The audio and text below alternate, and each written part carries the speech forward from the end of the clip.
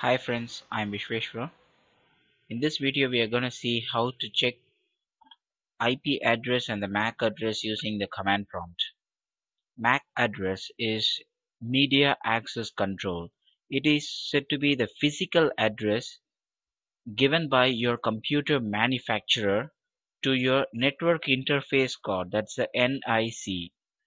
At the back of your computer you can see the NIC card where you plug in the internet cable or the ethernet cable in it.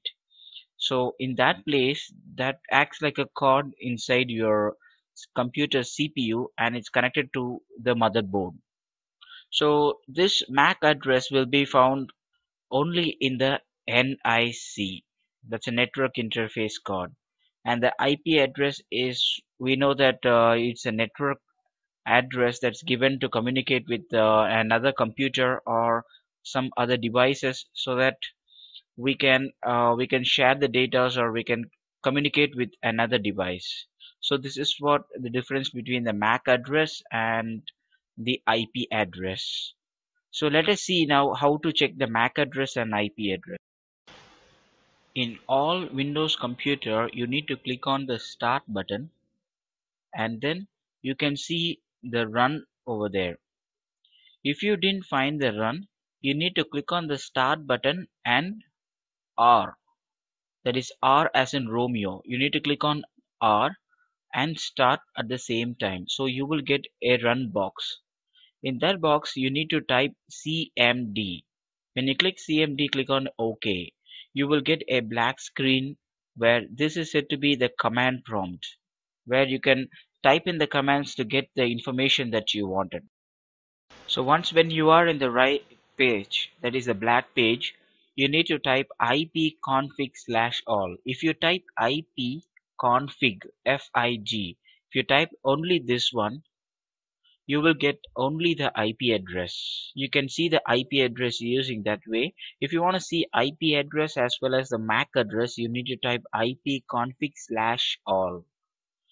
When you type that, see you can see the display here, the IP can config slash all and click on enter. Once when you do that here you can see the physical address. The physical address is nothing but the MAC address here.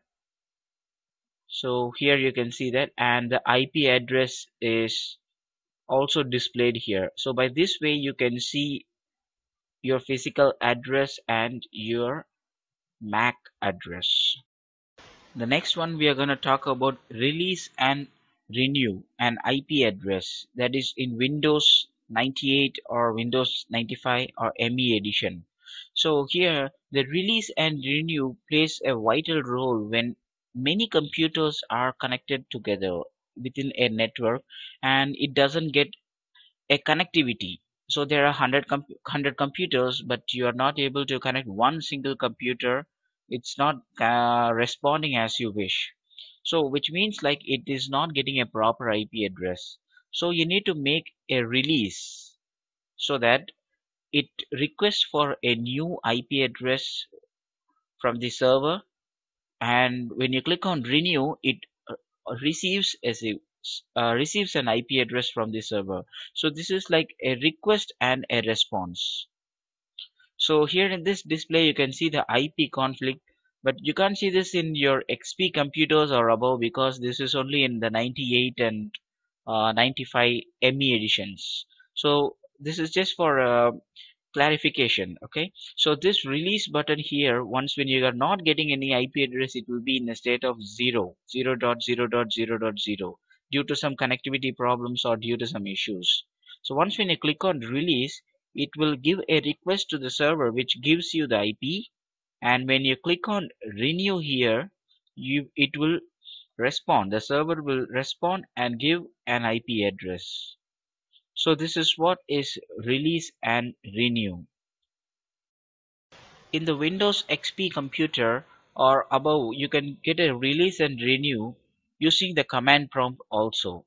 So you need to click on the same procedure. You need to go to the start button click on run type cmd and click on ok.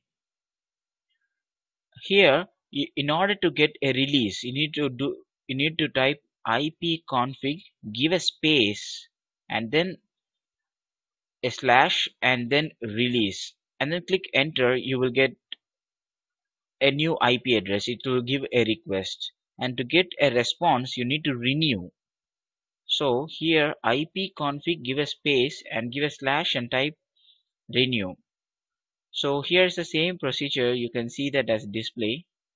Here they have given ipconfig slash release. So the IP address is released completely. And when you type ipconfig give a space and slash renew you're gonna get a new IP address obtained from the server. So this is what release and renew about